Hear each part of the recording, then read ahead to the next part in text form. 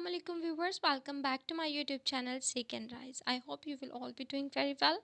In this video we are going to discuss the mock test number one all the essential mcqs and the accessory data for these mcqs and uh, apart from that your test 2 is also being shared वो test जो है वो आप attempt कर सकते हैं इन video format ताकि maximum MCQs आप जो है वो डिस्कशन फॉर्म में लर्न कर सकें और ताकि इसके साथ जो आप लोगों का एक्स्ट्रा डाटा है वो भी मैंने शेयर किया है ताकि अगर एमसीक्यूज़ मॉडिफाई होकर आते हैं तो इम्पोर्टेंट इम्पोर्टेंट जो एस्पेक्ट हैं या जो जो से इसके डोमेन्स हैं वो आप इसमें कवर कर सकें। चलते हैं फर्दर हम एम सी डिस्कशन की तरफ़। तो which of the following mixture is aqueous solution of the equimolar concentration act as a buffer solution so here is ammonium hydroxide in S C L nitric acid in sodium hydroxide in acetic acid in sodium hydroxide in sulphuric acid in potassium hydroxide अब आप जानते हैं कि buffer solution के लिए condition हमारे पास एक चीज़ ये है कि either it should have to be a strong base and a salt of a weak acid either it should have to be a strong base और a salt of a weak acid या इसके inverse यानी कि strong acid हो या salt of a weak base हो तो इस तरह की कंडीशन जो फुलफिल करता है वो हमारे पास ammonium hydroxide in H C L है। तो यहाँ पर जब अमोनियम हाइड्रोक्साइड एक्सेस में और ए होगा तो ये हमारे पास एक बेसिक बफर बना देते हैं और बेसिक बफर जो होता है वो फिर आ, हमारे पास ये एक्ट कर सकता है एज अ बफर और इसके अलावा एक एडिशनल बात यहाँ पर ये है कि ये जो रिएजेंट है ये हमारे पास ग्रुप थ्री रेडिकल के एनालिसिस के लिए भी यूज़ किया जाता है. यहाँ से आपने एक और चीज़ याद रखनी है कि ग्रुप रेडिकल्स जितने हैं उनके जितने रिएजेंट हैं फ़र्स्ट ग्रुप का जो रिएजेंट है सेकेंड थर्ड फोर्थ फिफ्थ वो सारे आपको याद करने हैं। वो एज इट इज़ भी पूछ ले जाते हैं और इसके अलावा जो है वो फिर डिफरेंट एम सी क्यूज़ के फॉर्म में भी मॉडिफाई हो सकते हैं। Which of the following is an amino acid amino acid कौन से एसिड होते हैं? All those acid which have the C double bond N H linkage and the carboxyl group both are present in that case so वो हमारे पास imino acid होते हैं। Proline is a amino acid जिसके अंदर हमारे पास सी कार्बन जो होता है ना वो लिंक होता है नाइट्रोजन के साथ and as well as also have the uh, group. So presence of both these group actually make it is an amino acid तो इसको हम आइपिकली तो नहीं कॉमनली अमीनो एसिड कहते हैं। इसके अलावा in which of the following glucose residues are linked as a beta one four glycosidic linkage अब हमारे पास आप जानते हैं कि जब हम बात करते हैं कि स्टार्च की तो स्टार्च में हमारे पास वन फोर लिंकेज होती है बट वो अल्फ़ा ग्लूकोज की होती है। लेकिन जब हम सेलुलस की बात करते हैं तो वो वन फोर लिंकेज होती है but that is of the beta glucose units तो ये हमारे पास स्ट्रक्चरल डिफरेंसेस आ जाते हैं which among the following is reducing sugar ये क्वेश्चन भी रिपीट होते हैं। तो आपको देखना है कि जितने भी हमारे पास मोनोसेक्राइड्स होते हैं, वो रिड्यूसिंग होते हैं और नॉन रिड्यूसिंग में हमारे पास सेक्रोज है। अब यहाँ पर सेक्रोज नॉन रिड्यूसिंग कैटेगरी में क्यों गई है? क्योंकि इसमें जो हमारे पास एक्टिव ग्रुप होते हैं कार्बो एल्डिहाइडिक एंड कीटोनिक ग्रुप जो कि पार्टिसिपेट करते हैं इस रिएक्शन के अंदर रिड्यूसिंग रिएक्शन के अंदर तो वो यहाँ पर अवेलेबल नहीं होते, ना free form because of the linkage one two glycosidic linkage तो इस वजह से these are non reducing and all the other are the reducing sugars अगर आपको वीडियो अच्छी लग रही है तो आप इसको लाइक करें, अपने फॉलोअर्स के साथ शेयर कर सकते हैं आप और उसके अलावा चैनल पर न्यू है तो आप सब्सक्राइब कर दें। फर्दर बढ़ते हैं हम अच्छा टेस्ट में एक क्वेश्चन था कि which of the following is essential amino acid तो उसका आंसर एग्जैक्ट आंसर है ट्रिप्टोफेन अब यहाँ पर ये एक इंपॉर्टेंट चार्ट मैं आप सबके साथ शेयर कर रही हूँ, आप देख सकते हैं इसमें। कि आपने अमाइनो एसिड को जब प्रिपेयर करना है तो उसमें ये सारे कैटेगरीज़ को आपने लास्ट में प्रिपेयर करना है कैलिफेटिक अमाइनो एसिड कौन से हैं, जितने भी रेड सर्कल में आपको दिखाई दे रहे हैं। आइदर डोटेड और फुल सर्कल ये सारे एलिफेटिक हैं और जितने ग्रीन में हैं these are all aromatic like phenylalanine tryptophan tyrosine और इसके अलावा जितने एसिडिक यानी कि ऑरेंज कलर में आपको दिखाई दे रहे हैं these are all acidic aspartic acid and glutamic acid इसमें एसिडिक क्यों है? क्योंकि इसके अंदर दो कार्बोक्सिल ग्रुप प्रेजेंट है और एक ही अमाइनो एसिड ग्रुप है। और इसके अलावा हम देख लेते हैं कि जो पिंक में है, वो सारे इनके अंदर सल्फ सॉरी इनके अंदर हाइड्रोक्सिल ग्रुप प्रेजेंट है। Apart from the carboxylic group का जो ओ OH होता है, उसके अलावा भी एक ओ OH ग्रुप है। So these are the hydroxylic amino acid इसी तरह सल्फ़र कंटेनिंग हमारे पास जो आपको येलो कलर में दिखाई दे रहे हैं इन द एंड ये वाले सॉरी ये वाले आपको सिस्टीन है मिथानिन ये सारे जो है हमारे पास सल्फ़र कंटेनिंग है। और इसी तरह जो हमारे पास नेवी ब्लू कलर में है ये वाले लास्ट में टू तो ये हमारे पास है एस्पराजीन और क्लटमिन ये कौन से हैं जी? ये हमारे पास है अमाइडिक ग्रुप इसके अंदर मौजूद है, ठीक है? तो इस तरीके से आपने इनको याद करना है। इसेंशियल के भी आपको नाम याद होने चाहिए और नॉन इसेंशियल के भी आपको याद होने चाहिए। जितने भी हमारे पास इसमें डोटेड सर्कल्स हैं, ये सारे इसेंशियल हैं और बाकी सब नॉन इसेंशियल हैं। I hope this chart will help you to learn this and memorise now move toward the cis and trans isomers can be differentiated by. So आप जानते हैं can all be differentiated by all these three things. Dipole uh, moment जो होता है trans का नहीं होता cancel out कर देते हैं एक दूसरे को। सिस का होता है बॉइलिंग पॉइंट जो होता है वो सिस का सारी फ़िज़िकल प्रॉपर्टीज़ बेसिकली सिस की ज़्यादा होती हैं। और ट्रांस का जस्ट मेल्टिंग पॉइंट ज़्यादा होता है। Which among the following is use in making green glass so chromium colour जो होता है वो सॉल्ट का, वो ग्रीन कलर प्रोड्यूस करता है that's why they are going to make the glass green colour which of the following is orbital of the lowest energy अब यहाँ पर आपने वो रूल याद करना है एन प्लस एल रूल अब इसमें क्या होता है? नॉर्मल जो हमारा प्रिंसिपल क्वांटम नंबर होता है फाइव सेवन फोर सिक्स ऐसे नज़र आ रहे हैं। तो इनको आपने प्लस करना है आपका ऑर्बिटल एंगुलर मोमेंटम एल के साथ। अब डी का ऑर्बिटल एंगुलर मोमेंटम होता है कितना होता है? टू होता है, एस का ज़ीरो होता है पी का वन होता है, डी का टू होता है, एफ़ का थ्री होता है।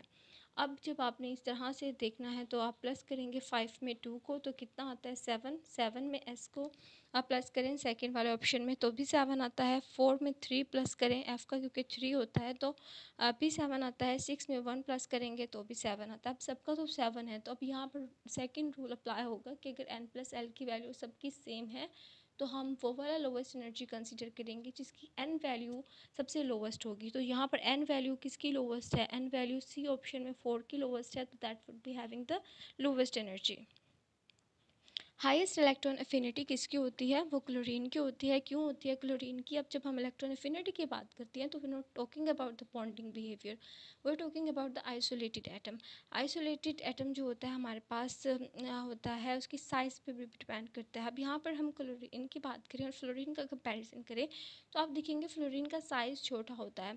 तो इसके अंदर जो इलेक्ट्रॉन्स की जो इलेक्ट्रॉन शेल के अंदर मौजूद होते हैं ना they're going to repel the incoming more electrons so इस वजह से इसकी इलेक्ट्रॉन एफिनिटी कम होती है। जब हम क्लोरीन की बात करते हैं, जब क्लोरीन के अंदर चूँकि आपका electrons are to be added in the three subshell तो वो क्या होता है थर्ड शेल के अंदर आना होता है तो फिर वो उसके पास एक्स्ट्रा स्पेस हो जाती है। तो एक्स्ट्रा स्पेस हो जाती है, वो लार्ज हो जाता है इलेक्ट्रॉन्स एक जगह कंसाइज नहीं हुए थे तो वो रिपल्शन कम होती है दैट्स वाई इसकी इलेक्ट्रॉन एफिनिटी ज़्यादा होती है which indicator we prefer to use in iodometric titration that is starch और अब इंडिकेटर से आपने याद रखना है कि जितनी भी टाइप्स की टाइट्रेशन है either it could be acid based hydration precipitation complexometry कुछ भी हाइड्रेशन है, आपने उसमें इंडिकेटर देखने हैं कि कौन कौन से यूज़ होते हैं। जैसे इसमें स्टार्च यूज़ होता है एसिड बेस के अंदर फिनॉफ्थलिन यूज़ होता है इरिक्रोम ब्लैक टी जो होता है, वो कम्प्लेक्सोमेट्री के अंदर शेयर होता है। अगर मैंने एक दो वीक एक सॉरी एक दो दिन में टाइट्रेशन के बहुत सारी डिमांड्स कर रहे हैं स्टूडेंट की टाइट्रेशन की आ, उनको टाइप्स या नोट्स या इस तरह से कुछ पढ़ाया जाए तो अगर मैंने कोई वीडियो बनाई तो उसमें मेरी कोशिश यही होगी कि आपके साथ सारे आ, इस तरह से टाइप्स और उसके इंडिकेटर शेयर कर दिए जाए। Which indicator we prefer to use in item repeat हो गया है। Which I R spectrum is call the fingerprint region अच्छा फिंगरप्रिंट रीजन जो होता है ना, वो six hundred to fourteen hundred तक होता है। ये रीजन स्पेसिफाइड होता है for a characteristic group of the compound और ये बहुत ही बॉन्डिंग जो, इसके जो बैंड्स आते हैं ना, वो बहुत ही शॉर्ट होते हैं और इनकी डेफिनेट नहीं होते जैसे कि फंक्शनल ग्रुप की होती है ना तो काफ़ी डेफिनेट पिक होती हैं but these are very characteristic अगर फंक्शनल ग्रुप के साथ ये वाली पिक हमारे पास मैच कर जाती हैं तो वी आर वेरी शो कि ये स्पेसिफिक कंपाउंड मौजूद है। अच्छा जी। The size of the colloidal particles is between अब ये आपने ना यहाँ पर क्वेश्चन को मेंशन करने का मकसद ये है कि आपने इसकी सारी sizes ranges different unit conversion के लिहाज से भी याद रखनी है। ये सेंटीमीटर में दी गई है। आपने नैनोमीटर सेंटीमीटर के अलावा मीटर में भी तो ये आपको, ताकि अगर कन्वर्जन में आप क्विक हैं तो आप उसी टाइम कर लेंगे, लेकिन अगर नहीं है तो आपको पहले आइडिया होगा। ठीक है? When a solute is shaken with two immiscible liquid it associate in one of the liquid the distribution constant is given by so that's ये इसका एक्सप्रेशन है। डिस्ट्रीब्यूशन ला के अंदर इसके सारे एक्सप्रेशन दिए गए हैं कि अगर सोल्यूट एसोसिएट होता है तो कौन सा एक्सप्रेशन होगा डिसोसिएट होता है तो कौन सा एक्सप्रेशन होगा। चैप्टर नंबर नाइन के अंदर है सॉरी चैप्टर नंबर जो सोल्यूशन का चैप्टर है बीएससी की बुक में, उसमें ये आपको मिल जाएगा। तो ये आपने सारे एक्सप्रेशन इसको याद रखने हैं। Which of the following does not contain the number of the neutrons equal to that of the argon अब न्यूट्रॉन्स को कैलकुलेट करना आपको आता ही है फोर्टीन में से एटीन निकालेंगे तो कितने आते हैं? फोर्टी वन में से नाइनटीन को माइनस करें फोर्टी थ्री में से ट्वेंटी वन को तो सबको जब आप करेंगे ना तो सबका आंसर जो होगा ना, वो सेम आएगा एक्सेप्ट ऑफ़ द सी का तो फिर वो आपका हमारे पास आइसोटोन नहीं होगा आर्कोन का जो ऊपर मैंशन किया गया है। अब आइसोटोन क्या होते हैं, जिनके नंबर ऑफ़ न्यूट्रॉन सेम होते हैं। The Bohr orbit of the radius of hydrogen atom is approximately 0.253 angstrom. The radius for the first excited state orbit is, अब देखिए बोहर ने कितना दिमाग लगाया था, इतनी ज़्यादा कैलकुलेशन की, लेकिन आखिर में आके आपने करना क्या काम है कि जो उसने छोटा सा आखिर में एक्सप्रेशन निकाला था, वो था point five three angstrom into N square यानी कि जो ऑर्बिटल होता है अब यहाँ पर वो फ़र्स्ट एक्साइटेड स्टेट की बात कर रहे हैं इस means that could be the it's with the second one of the orbital so यहाँ पर आपने उसको स्क्वेयर करना है, उसको मल्टीप्लाई करना है पॉइंट फाइव थ्री के साथ तो आंसर जो होता है ना, वो टू पॉइंट वन टू आ जाएगा. सो दैट्स वेरी इजी और इंपॉर्टेंट है. बोर का रेडियस का एक्सप्रेशन भी और एनर्जी का एक्सप्रेशन भी याद रख लेना है. और जिस भी ऑर्बिटल के हवाले से वो पूछें, वहाँ पे उस ऑर्बिटल का नंबर डालना है और आराम से आंसर निकाल लेना है. ये हमारा 2022 के पेपर में भी क्वेश्चन आया हुआ था. अच्छा जी which one of the following sets of the ions represent a collection of the isoelectronic species isoelectronic species जो होती हैं, वो उन ग्रुप ऑफ़ एटम्स आयंस को कहते हैं, जिनके अंदर सेम नंबर ऑफ़ इलेक्ट्रॉन्स हों। अब यहाँ हमारे पास इसको देखने का आसान तरीका ये हो जाता है कि आप एक सेंट्रल एटम यानी कि आप ले लें। फॉर एग्जांपल मैं यहाँ पर एग्ज़ाम्पल मैं आपको दिखा रही हूँ तो न्यून फॉर एग्ज़ाम्पल आप ले लें। तो नियोन से आगे नियोन का टेन होता है, आपको पता है तो sodium should have to be eleven. अब यहाँ पर प्लस का मतलब है कि उसने एक रिमूव कर दिया है तो इलेवन में से एक निकालेंगे टेन, मैग्नीशियम से दो निकाल देंगे, फिर भी टेन एलमिनियम में से थ्री निकाल देंगे, फिर भी टेन। इसकी इसी तरह आप लेफ़्ट पे देखें तो फ्लोरीन अगर एक ले लेगा तो फिर टेन, ऑक्सीजन, इसी तरह आप नेक्स्ट सीरीज़ में आ जाएँ तो इस सीरीज़ से आपको पता चल जाता है कि these are to be isoelectronic तो आपको पीरियोडिक टेबल की एक्चुअली रो याद हो तो आप ये आसानी से कर सकते हैं। इनका पर्पज़ क्या होता है? हम इसको साइज़ की एनालिसिस के लिए या फिर ग्रुप ट्रेंड्स को डिटरमिन करने के लिए इस तरह के क्वेश्चंस के लिए जो है वो हम इसको यूज़ कर लेते देते हैं। पूछे जाते हैं तो हम इसका आंसर उस तरीके से कर सकते हैं। Radioactivity will be high in अच्छा अब ये क्वेश्चन भी 2022 के हमारा पेपर का क्वेश्चन था। इसमें ये क्वेश्चन काफ़ी घुमा फिरा के बहुत लंबी स्टेटमेंट थी। अब यहाँ पर ये छोटी सी आसान लग रही है देखिए कितनी आसान लग रही है। लेकिन वहाँ पर घुमा फिरा हुई थी और मैं ये क्वेश्चन भी गलत करके आ गई थी। मैंने सारे आसान आसान क्वेश्चन गलत किए थे। मेरे पता नहीं मुश्किल मुश्किल क्वेश्चन ठीक हुए थे। अच्छा वो पता नहीं कैसे ठीक हो गए थे।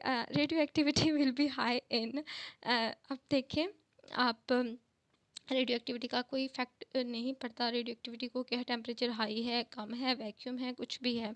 So it will going to remain same in all the physical condition of temperature pressure etcetera so radioactivity is independent of all this factor ये हम पढ़ते हैं the. Elements in which the four f orbital are progressively filled up are called as the lanthanides अब five f होंगे तो वो actinides हैं। ये चीज़ें बहुत पीरियोडिक टेबल्स के हवाले से कभी कभी कॉमनली भी आसान आसान से भी आ जाती हैं। Which of the following molecule बिल्कुल, इस पैरामैग्नेटिक पैरामैग्नेटिज्म देखने के लिए आपने इसके अंदर इलेक्ट्रॉन्स देखने हैं कंपाउंड के अंदर। अगर वो ओड में होंगे तो आपके लिए वो कंपाउंड होगा जी। पैरा पैरामैग्नेटिक अगर वो इवन में होंगे तो वो डायामैग्नेटिक होगा। एनओ के अंदर कितने नंबर ऑफ़ इलेक्ट्रॉन्स यहाँ पर आ रहे हैं हमारे पास? फिफ्टीन होते हैं तो that's why it is the paramagnetic which one of the following is a planar structure अच्छा geometry of the molecules you must have to prepare very well and uh, geometry of the molecules uh, are going to come in ये हर exam में आती हैं तो अब बहुत chances हैं कि अभी जो है वो ये एक तो क्वेश्चन ज्योमेट्री के हवाले से वेस्पर थ्योरी बॉन्डिंग जितनी थ्योरीज हैं उनको बड़े अच्छे से आप लोगों ने करके जाना है तो ये जीनोन एफ़ फोर है ये आ, हमारे पास आप इसकी स्ट्रक्चर देख सकते हैं किस तरह से ये डिफरेंट कंपाउंड्स के अंदर बॉन्डिंग को शो कर रहा है। With rise in temperature viscosity of a liquid अच्छा जी अब इसका एक्सप्रेशन है आप इस फार्मूले से ही देख सकते हैं कि विस्कोसिटी जो है वो हमारे पास uh, किस तरह से इसके साथ लिंक्ड है तो जैसे ही टेम्परेचर इंक्रीज़ होता है विस्कोसिटी डिक्रीज़ हो जाती है। विस्कोसिटी uh, जो होती है वो फ्रिक्शन होती है ना बिटवीन द लेयर्स जब जैसे टेम्परेचर इंक्रीज़ होता है वाइब्रेशंस मूवमेंट इंक्रीज़ होती हैं that's why it's going to decrease the viscosity and it will help to move the liquid freely and smoothly. Which one of the following liquid will exhibit the highest vapor pressure? अब vapor pressure is to be linked with the bonding in the compound. जब भी हम किसी की vapor pressure boiling point का ज़िक्र कर रहे होते हैं then we have to look into the bonding in that compound. अगर वो hydrogen bonding है वो um, इसके अंदर possibility है किसी तरह की uh, दूसरी bondings की dipole dipole की किसी तरह का ऐसे interaction possible है so that compound will going to exhibit a very lower vapour pressure ठीक है? जिसके अंदर वेपर प्रेशर लोअर होगा मतलब कि उसकी बॉन्डिंग स्ट्रॉन्ग है। जिसका वेपर प्रेशर कम होगा उसका मतलब है कि उसकी बॉन्डिंग वीक uh, है।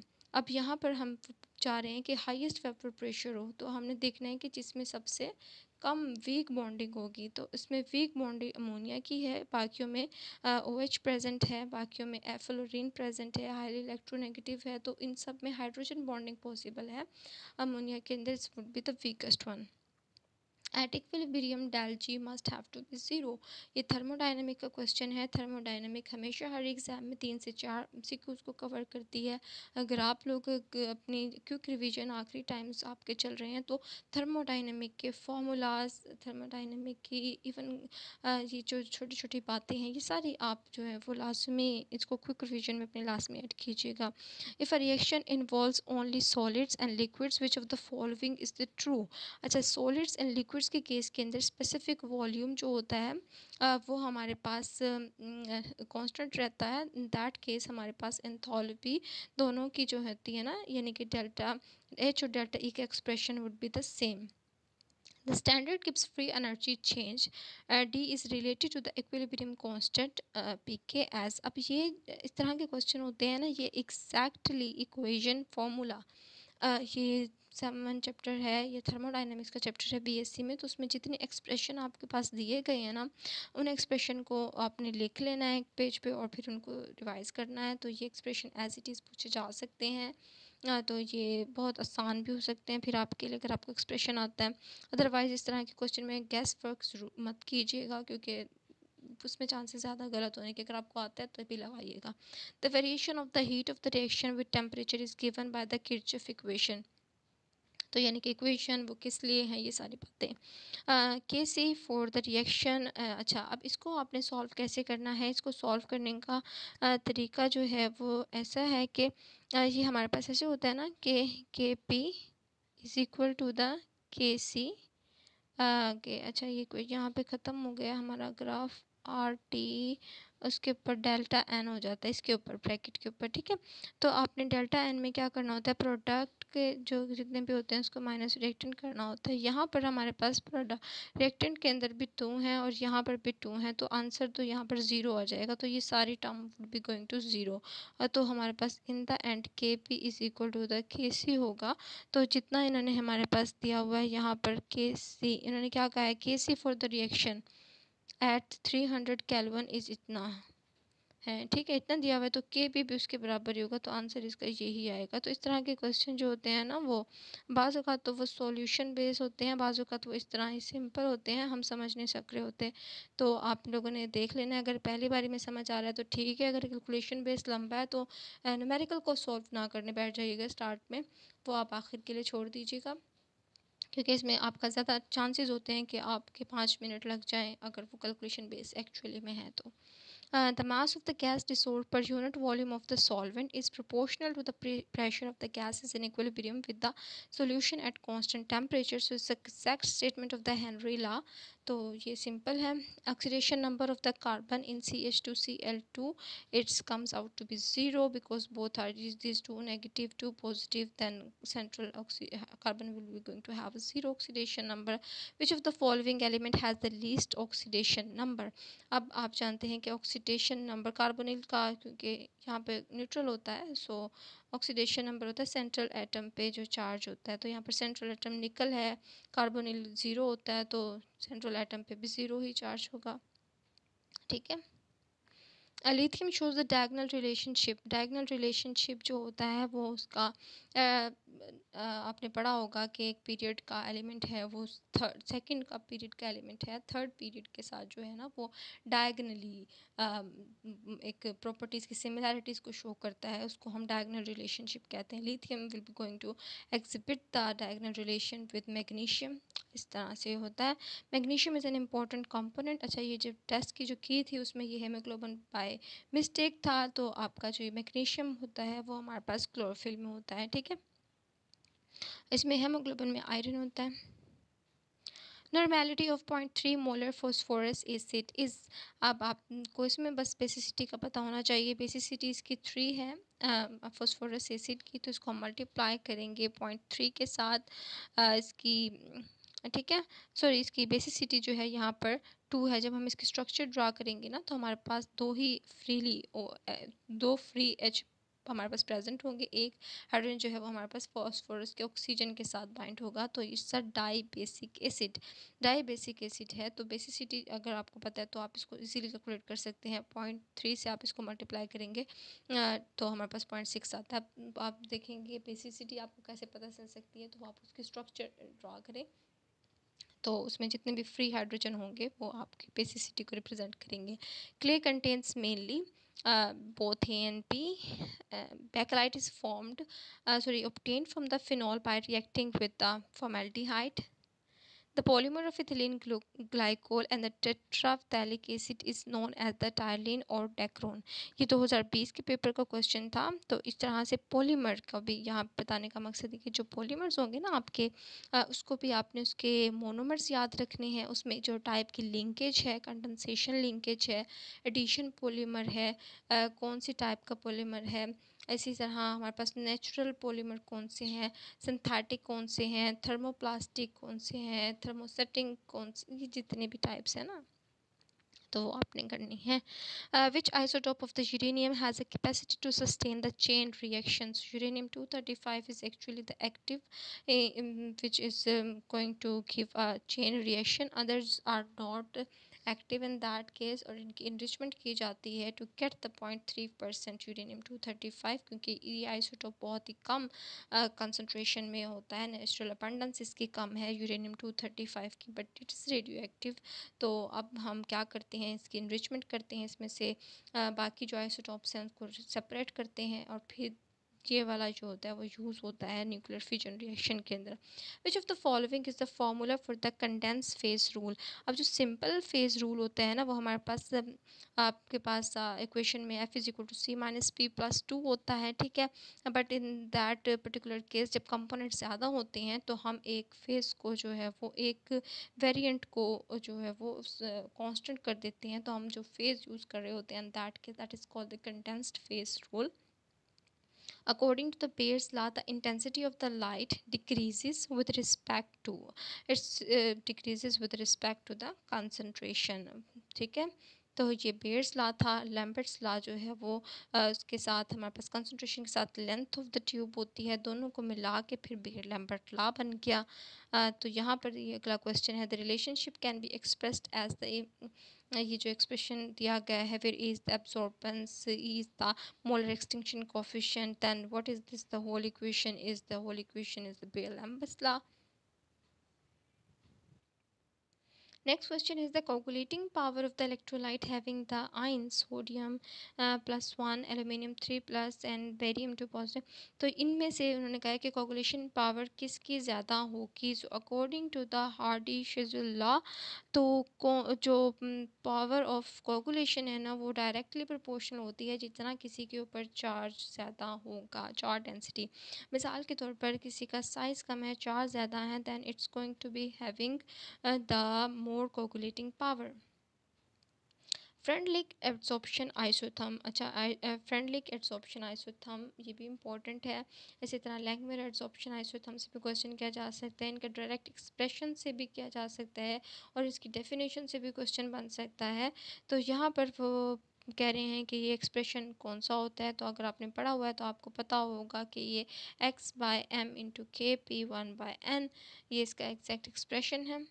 Fork is an example of which type of the colloidal system, solid and gas, liquid and gas, which of the following properties of the colloids does not depends on the charge of the particle. Acha, you all know that the coagulation is going to be depend upon it. Electrosmosis, electrophoresis, that are going to be depend on the part of the particle size and charges but it's the Tyndall effect that's not going to be depend upon the charge of the particle Tyndall effect में होता क्या है हमारे पास Tyndall effect में होती है हमारे पास एक किस्म की सस्पेंशन होती है स्कैटरिंग हो जाती है लाइट की। जब सॉल्यूशन में से हम लाइट बीम को पास करते हैं फॉर एग्जांपल वाटर है हमारे पास तो लाइट सिंपली गुजर जाएगी। जब हमारे पास कोलाइट का सॉल्यूशन होगा ना, जैसे मिल्क है हमारे पास, ठीक है तो ये हमारे पास लाइट जो होती है ना, वो एक स्ट्रिट पाथ में हमारे पास विजिबल आ रही होती है। जबकि अगर हम सस्पेंशन की बात करते हैं ना फॉर एग्ज़ाम्पल हमने सस्पेंशन बना दिया तो टिंडल इफ़ेक्ट जो होता है ना, वो एक्चुअली लाइट को स्कैटर कर कर देता है। अब इसमें चार्ज का कोई अमल दखल नहीं है, इसमें पार्टिकल साइज़ की बात हो रही है। पार्टिकल साइज़ वेरी करेगा तो कोलाइड्स बनेंगे ठीक है? कोलाइडल सोल्यूशन होगा। अगर ज़्यादा बड़ा पार्टिकल साइज़ होगा तो वो सस्पेंशन होगी। सो इन शॉर्ट हम ये बात कहेंगे कि पार्टिकल साइज़ जो है वो टिंडल इफ़ेक्ट पे इफ़ेक्ट करता है, जबकि चार्ज इस पर कोई इफ़ेक्ट नहीं करता। PH of the two molar sodium chloride sodium chloride एक सॉल्ट है जो कि form due to the reaction of sodium hydroxide जो कि स्ट्रॉन्ग बेस है, ये सब आप जानते हैं स्ट्रॉन्ग एसिड जब स्ट्रॉन्ग बेस के साथ रिएक्ट करेगा तो हमारे पास एक न्यूट्रल सॉल्ट जनरेट होगा। Sodium chloride solution is neutral so इसकी पीएच जो होगी वो हमारे पास सेवन आएगी। बोरिक एसिड इज़ अब इसके स्ट्रक्चर से आप देख सकते हैं बोरिक एसिड के so boric acid is going to be react with the water so it's monobasic because each molecule produce one H three O यानी कि एक ही फ्री ओ एच जो है वो पॉसिबली निकल सकते हैं इसमें से तो that's the monobasic acid अब ये हमारे पास सॉफ्ट ग्लास की कंपोजिशन है। अब यहाँ पर इसमें क्या होता है कि एक sodium oxide for example plus one का जो चार्ज का किटाइन होता है, उसका ऑक्साइड के साथ लिंकेज इसी तरह प्लस टू के जो चार्ज केटाइन होते हैं, उसका ऑक्साइड के साथ हमारे पास यहाँ पे होता है। फिर उसके बाद एक सिलिका अब जो सॉफ्ट ग्लास के अलावा जितनी अदर कंपोजिशन होती है ना, उसमें सोडियम की जगह पोटाशियम फॉर एग्जांपल ऐड होगा कैल्शियम की जगह, दूसरा इसका ग्रुप का एलिमेंट ऐड हो जाएगा तो वो कंपोजिशन जैसे जैसे चेंज होगी तो ग्लास की टाइप भी चेंज होती जाएगी। आपने ये सारी टाइप्स कर लेनी है। Now the metal use for making the radiation shield is आप ये सब जानते हैं कि रेडिएशन शील्ड के लिए लेट यूज़ होती है which of the following does not reduce the Benedict solution अब कौन नहीं रिड्यूस करेगा? आप पहले भी देख चुके हैं सुक्रोज नहीं करेगा because it's not having the free aldehyde ketonic group जितने मोनोसेक्राइड हैं they are reducing so they are going to reduce it which of the following is a fat soluble fat soluble vitamin जो होते हैं, वो vitamin B होता है। बाकी जो यहाँ शो किए गए हैं these are not fat soluble these are water soluble tautomerism अच्छा वाइटामस में भी आपको पता होना चाहिए कि वाइटामस कितने टाइप्स के हैं, कौन सा वाइटामिन की कंपोजिशन क्या है, ये भी पूछी जा सकती है। बायोकेमिस्ट्री का भी मैं एक लेक्चर अपलोड कर दूँगी कल तक कर दूँगी बेशक तो उसमें ये वाइटामस प्रोटीन्स कार्बोहाइड्रेट्स क्योंकि मुझे लगता है कि बायोकेमिस्ट्री जिनका मेजर नहीं था या जिन लोगों का बैकग्राउंड भी नहीं था बायोकेमिस्ट्री से तो उनके लिए थोड़ा डिफ़िकल्ट होता है। ऑल दो मैंने बायोकेमिस्ट्री को एज आ माइनर भी पढ़ा हुआ है और उसके अलावा मेरा बैकग्राउंड बायो बायोलॉजी से रिलेटेड था तो मैंने इसको अच्छे से किया हुआ है। आई होप कि जो कुछ मैं जानती हूँ तो मैं आपके साथ वीडियो में शेयर कर दूँगी। और एक वीडियो टाइट्रेशन के हवाले से भी मुझे लगता है अपलोड कर देने चाहिए तो ये दो वीडियो मैं आप लोगों के साथ शेयर कर दूँगी। Tautomerism will be exhibited by tautomerism जो होता है, वो इनमें से कौन सी स्ट्रक्चर शो करे? किसी प्रोटीन शिफ्ट होता है ना, इसमें विद इन द स्ट्रक्चर तो उसको हम टोटोमेडिज़म कहते हैं। तो ये हमारे पास ऑप्शन इसका डी होगा। aniline reacts with the NaNO2 HCl at room temperature to give the phenol ये एग्जैक्ट रिएक्शन है जो आपकी बुक में दिए गए हैं। अच्छा जी R C H two C H two O H can be converted into the यानी कि अल्कोहल को इन्होंने कार्बोक्सिलिक एसिड में कन्वर्ट करना है तो वो कह रहे हैं कि कौन सा रिएजेंट हम यूज़ करें और क्या सीक्वेंस होगा? इस तरह के क्वेश्चन ऑर्गेनिक केमिस्ट्री से आ जाते हैं। तो आप सबसे पहले अल्कोहल को यहाँ पर सब्सटीट्यूशन करवाएँगे, जिसके लिए आप बी आर थ्री यूज़ करेंगे, फिर उसके बाद आप इसके अंदर, इसको भी सब्सिट्यूट करेंगे बी आर को विद के सी एन और फिर उसकी हाइड्रोलिसिस करवा देंगे, फिर वो हमारे पास कार्बोक्सिलिक एसिड में कन्वर्ट हो जाएगा। The following reaction is known as अब यहाँ पर ना एक प्रॉपर रिएक्शन दिया गया था, जो इसमें तो नहीं आया क्विज़ में आपने देख लिया होगा तो वो रायमन टाइमर इक्वेशन थी। इसी तरह की इक्वेशन आपको दी जा सकती है और पूछा जा सकता है कि ये कौन सा रिएक्शन है। Paraldehyde is form by the polymerization of अब ज़रूरी नहीं है कि ये इसी तरह के फॉर्मेट के क्वेश्चन आए, लेकिन इस तरह के क्वेश्चन ही उठाते हैं, इसी तरीके तरीके से आपने पढ़ना होता है चीज़ों को ना। Paraldehyde is form by the polymerization of acetaldehyde which is the major air pollutant is the carbon monoxide यहाँ पर ऑक्सीजन तो नहीं होगा ना पोल्यूटेंट हीलियम भी थोड़ी सी मकदार में होता है, बेचारा क्या कर लेगा वो। अब यहाँ पर कार्बन मोनोऑक्साइड है, देखिए आप जानते हैं कार्बन मोनोऑक्साइड इज़ पोल्यूटेंट इसके अंदर कैपेसिटी तो होती है ज़्यादा कि हेमोग्लोबिन के साथ ऑक्सीजन से भी ज़्यादा कैपेसिटी में बाइंड हो सकता है और जब ये हाइड्रोजन, सॉरी, हेमोग्लोबिन के साथ ज़्यादा कैपेसिटी में बाइंड होता है ना तो फिर बॉडी में ऑक्सीजन की कमी हो जाती है तो डेथ हो सकती है possibly brass is an alloy of the copper and zinc. ठीक है, ये अलॉय जो है वो आपने इस तरह याद कर लेने हैं, कोई हिंट शिंट बना लें, इनकी मैंने तो एक हिंट ये बनाई हुई थी, जो कि इसमें एस है तो के ब्रॉन्ज में एज़ आता है तो उससे आप याद रख लें और इसमें जो सेट नहीं आता तो इसमें जिंक लाजमी आएगा, इस तरह करके जो भी, कुछ भी आपने मॉनिक्स खुद से बना सकते हैं।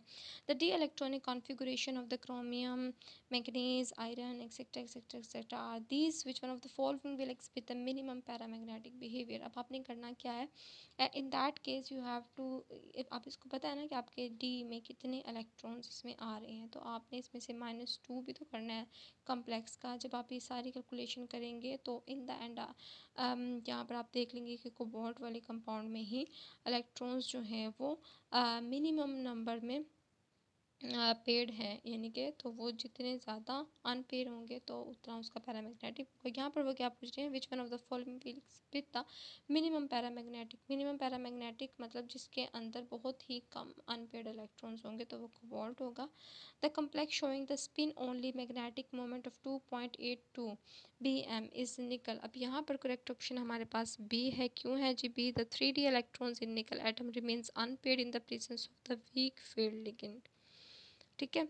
Here chloride is a weak field ligand, whereas other are strong field ligand, which can pair up the electrons in the 3d जितने स्ट्रॉन्ग फ़ील्ड होंगे ना, वो तो पेयर अप कर देंगे इलेक्ट्रॉन्स को थ्री डी में, लेकिन क्लोराइड नहीं कर सकेगा। निकल इस इन ऑक्सीडेशन नंबर टू में होता है।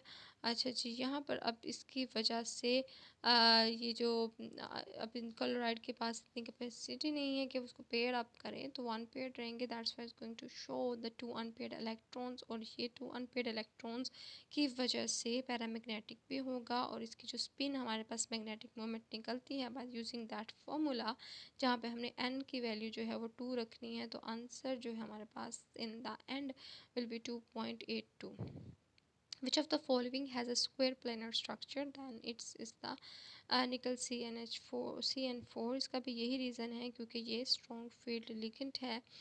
तो यहाँ पर ये पेयर अप कर देगा जिसकी वजह से हमारे पास जो स्ट्रक्चर होगी वो प्लेनर हो जाएगी। Which of the following is optically active optically active होने के लिए ज़रूरी क्या होता है कि ऑप्टिकली एक्टिव कोई स्पीशी जब होती है, जब उसके साथ, सबसे पहले तो वो कायरल होगी, ठीक है? उसके बाद उसमें लैक ऑफ़ सिमिट्री होगी। अब टार्टेरिक एसिड की जो स्ट्रक्चर्स आपको दिख रही हैं, इसमें सिमिट्रिक नहीं है सेंटर ऑफ़ सिमिट्री नहीं है ना?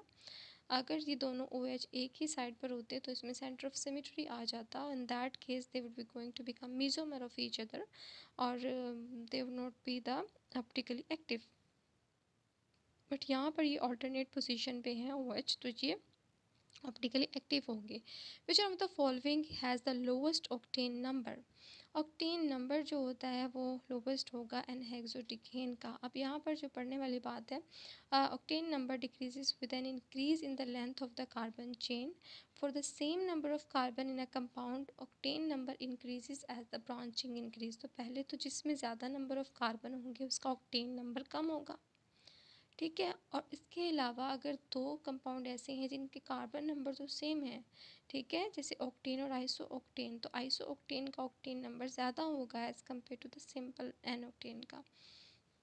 Unsaturated hydrocarbon have higher value of octane number जिसके अंदर डबल बॉन्ड होगा तो उसकी भी ऑक्टेन नंबर ज़्यादा होगा। Cyclic alkane have a higher value of octane number the octane number of aromatic compound is exceptionally going to be very high out of the compounds and hexodecane has the longest chain of the carbon atom in it so option d is the hexodecane is the correct one.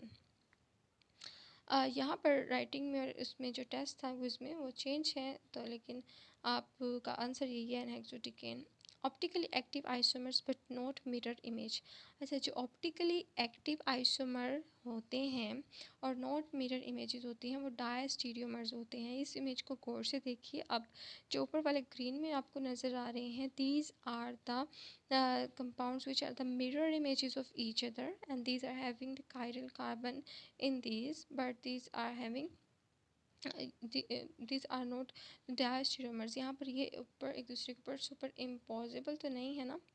ठीक है? तो हमने यही चीज़ देखनी है कि optical active isomer but not mirror images ये तो एक दूसरे के मिरर इमेजेस हैं, वो इनानशमर्स हैं, जो एक दूसरे के मिरर इमेजेस ना हो, वो हमारे पास डायस्टीरोमर्स हैं।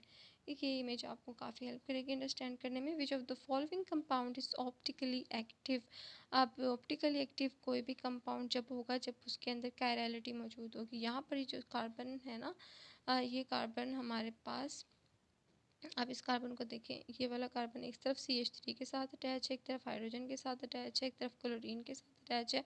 और दूसरी तरफ़ ये C double bond O H की, जब आप स्ट्रक्चर को क्लियर करेंगे तो आपको नज़र आ जाएगा तो ये हमारे पास कायरल होगा। Iodoform can be prepare from all the following except the isobutyl alcohol अब आप सब जानते हैं कि इथाइल मिथाइल कीटोन। अब एक तरफ़ सी एच थ्री ग्रुप है ना तो ये भी हो सकता है। C H three C double bond O group का होना आइडोफॉर्म रिएक्शन को परफॉर्म करने के लिए बहुत ज़्यादा ज़रूरी होता है, या फिर ऐसा अल्कोहल हो जो कि कन्वर्ट हो सके इस ग्रुप में, जिसके अंदर C H three C double bond हो तो वो भी आइडोफॉर्म रिएक्शन दे सकता है। बट आइसोब्यूटाइल के अंदर ऐसी कोई पॉसिबिलिटी नहीं है। That was is not going to give the iodoform test in Arrhenius plot intercept is equal to Arrhenius plot की इक्वेशन भी बहुत इंपॉर्टेंट होती है। कभी ये पूछ लिया जाता है कि स्लोप की, क्या होगी? स्लोप में जो एक्टिवेशन एनर्जी है, वो फिर कैसे निकाल सकते हैं? और स्लोप का यूनिट क्या होगा? तो इस एक्सप्रेशन को आपने याद रखना है। इंटरसेप्ट हम इस लाइन को कहते हैं जो एक्स एक्सिस वाई एक्सिस के लॉन्ग होती है। एल के यहाँ पर जो है वो हमारे पास एल एन ई जो हमारे पास है, यहाँ से ज़ीरो से लेकर जहाँ से ये लाइन क्रॉस कर रही है. This is the intercept it is represented by the l n A और ये हमारे पास ग्राफ जो है वो वन बाई टी और एल एन के के बिटवीन है. Given below is the dihalo alkane अच्छा अब यहाँ पर जो कुछ था, इसमें आपको एक इमेज दी गई थी और पूछा गया था कि that will be produce select the number of signals that will be produce by the compound in the one proton N M R proton N M R के अंदर अगर ये कंपाउंड हम डालें तो हमारे पास कितने सिग्नल प्रोड्यूस होंगे? आप देखिए इसमें कितना, कितने डिफरेंट इन्वायरमेंट के हाइड्रोजन है। एक तो ये वाला, क्योंकि फ्लोरीन है तो एक तो ये दोनों का इन्वायरमेंट सेम होगा। दूसरा ये होगा, तीसरा ये होगा, और चौथा ये होगा। तो इसके अंदर चार डिफरेंट काइंड के इन्वायरमेंट है, के हाइड्रोजन है तो चार ही पीक्स आएँगी सिग्नल हमारे पास आएँगे। In chromatography the stationary phase can भी सॉलिड और liquid supported on a solid ठीक है it could be the entirely solid that be going to give the absorption phenomena और अगर वो सॉलिड के ऊपर लिक्विड सपोर्टेड है तो वो हमारे पास पार्टीशन क्रोमेटोग्राफी के अंदर यूज़ होता है। Theoretical plates are use to estimate the efficiency of a column ये भी लास्ट टाइम क्वेश्चन आया हुआ था हमारे पेपर में। Half life of the reaction is found to be inversely proportion to the cube of initial concentration the order of reaction would be अच्छा अगर हम देखते हैं ना half life of any half life का जो हम रिलेशन देखते हैं तो वो one less than the order of the reaction होता है। अच्छा जी मेरे मोबाइल की बैटरी भी गई। अब आप देखें तो इसमें वो क्यूब का है। तो क्यूब में हमने देखना है तो उसका one less than the order होगा ना? जो हम बात करते हैं तो वन लेस देन ऑर्डर का मतलब है इट शुड बी इसमें आप देख सकते हैं कि हाफ़ लाइफ को जब वो कहते हैं कि वन लेस देन है लेकिन इसमें आपने एक इंक्रीज़ करके बताना होता है क्योंकि वो ऑर्डर की बात पूछ रहे हैं आपसे कंसंट्रेशन की आ, बात नहीं पूछ रहे यहाँ पर तो आपने इसको ऑर्डर ऑफ़ रिएक्शन के साथ लिंक करना है. Identify the mixture that shows the positive deviation from the Raoult's law तो आप देखें एसीटोन जो होता है ना पोलर सॉल्वेंट होता है whereas C S two is non polar solvent the forces are stronger than the adhesive इसके अंदर इन फोर्सेज की वजह से क्या होगा कि इंक्रीज़ इन वेपर प्रेशर होगा जो कि against the prediction of the Raoult's law है so it will show the positive deviation from the Raoult's law तो पॉजिटिव और नेगेटिव डेविएशन कौन सी होती हैं कौन कौन से कंपाउंड इसको शो करते हैं आइडियल सोल्यूशन इनकी एग्जाम्पल्स क्या हैं, इस चैप्टर में से आपने ये चीज़ें लाजमी कुक रिविजन में अपनी ऐड करनी है। उसके बाद ozone layer is present in stratosphere the gas responsible for ozone depletion is the I know and freons which of the following Pakistani cricket अच्छा क्रिकेट के हवाले से भी आपने लाजमी एम सी क्यूज़ प्रिपेयर करके जाने हैं। ये भी पूछे जा सकते हैं। ठीक है। वैसे तो ये खेल ही काफरंद है, लेकिन इसका एम सी क्यूज़ जो है वो पूछा जाता है। थोड़ा पाकिस्तान इसके पीछे पागल होता है तो एग्जामिनर भी होते होते हैं। सिक्स सितंबर 2022 जो होता है, वो फिर क्या हम सेलिब्रेट करते हैं? डिफेंस डे होता है। अब इस टाइम जो 2022 का था, वो कौन सा था? 56 था। अच्छा जी, फिर उसके बाद है जी the current chairman of the national disaster management authority is the lieutenant general Mohammad Afzal इस तरह से जो करंट सेलिब्रिटी सॉरी सेलिब्रिटीज कहेंगे इनको, क्या कहेंगे? करंट जो मिनिस्टर्स हैं करंट ऑफिशियल्स हैं करंट मिनिस्टर्स जितने भी हैं गवर्नर्स हैं करंट गवर्नमेंट के अंदर जो है आर्मी के जो हैं, उन सबको अपने नेम्स को अपने याद करना है। Who was the viceroy of the India at the time of partition of Bengal Lord Curzon के पाकिस्तान अफेयर्स हैं, जो कि प्री पार्टीशन आफ्टर पार्टीशन में से आते होते हैं। The highest peak of the salt range is the Kesar. Qaid Azam became the member of the Legislative Council from the Bombay in 1906. So ये पाकिस्तान अफेयर्स की कुछ हिस्ट्री के एम भी आ सकते हैं Martial law has been declared in Pakistan for the fourth times and the largest earthfill dam is Tarbela Dam. तो पाकिस्तान की geography और के हवाले से भी एम आ जाते हैं पाकिस्तान की जोग्राफ़ी के हवाले से और इंटरनेशनली मतलब वर्ल्ड की ओवरऑल जोग्राफ़ी से भी आ सकते हैं तो these are like some how these are luck पे Somehow these are the you know कि आपकी ऑब्जर्वेशन कितनी अच्छी है उसके बेस पे भी हो सकते हैं। नॉर्थ अटलांटिक ट्रीटी ऑर्गेनाइजेशन जो है वो कब इस्टेब्लिश हुई थी 1949 में? Mayuddin Yassin recently sworn in the, as the new prime minister of which country is Malaysia which is the antonym of the abrogate is approve अच्छा मैथ के question आप खुद देख लीजिएगा मुझे मैथ में I am zero in maths और math सोच के गई थी कि मैंने मैथ क्वेश्चन बिल्कुल भी नहीं करके गई थी, कभी देखे भी नहीं है। और वहाँ पे भी आई वॉज़ वेरी श्योर लेकिन अगर आप अच्छे हैं तो कर लीजिएगा। मैंने इसको स्किप कर दिया था, ठीक है? And the total official languages of the UNESCO are six उसके बाद हमारे पास है can provided to Pakistan by Canada तो ये मैंने एज एग्जांपल आपके साथ जनरल नॉलेज शेयर किया है। बहुत wide variety of the general knowledge है, लेकिन कैटेगरीज यही होती हैं कि दो मैथ्स के, दो इंग्लिश के, दो उर्दू के, दो कंप्यूटर के, चार पाकिस्तान अफेयर चार करंट अफेयर्स इस तरह से आपके एम आते होते हैं। तो ये आप सब देख लीजिएगा। मोम नाक होना और बात मान लेना। Booting means starting computer etcetera आपकी जो वीडियो नंबर टू है, वो मॉक टेस्ट टू के हवाले से है। उसमें मकसद जो है वो ये कि बहुत सारे स्टूडेंट को टेस्ट मिलता नहीं है। पहली बात, अगर मैं क्विज़ की फॉर्म में शेयर करती हूँ, उनसे आस्ट में वेयर द तो उसके अलावा मैंने फिर सोचा है कि वीडियो में ही आपके स्टार्टिंग के पेजेस जो होंगे, वो आपका टेस्ट होगा। उसको अटैम्प्ट करेंगे और उसमें आपको डिस्कशन मिल जाएगी। अच्छा जी वीडियो को अगर आपको अच्छी लगी है तो लाइक करें शेयर करें चैनल को सब्सक्राइब करें। और आप लोगों की टेस्ट के लिए very well wishes from my side और मेरे लिए भी दुआ कीजिएगा। अल्लाह हाफिज़। मेरी आ,